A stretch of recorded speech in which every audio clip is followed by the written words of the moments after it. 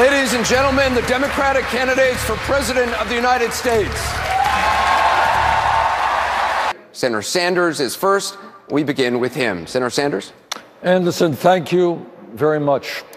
In recent years, I need to rebuild my crumbling waste systems. What is going on? Let me, let me be very honest with you. Hard thing to say, but it is true. What I've got to do is not continue shitting my pants. All I can say is if you check my pants, I have an increase of duty, sure. And I have taken on do. I think we should release shit to ease anxiety. And that's fine if you hold it. And it is almost unspeakable to talk about what I saw was beyond belief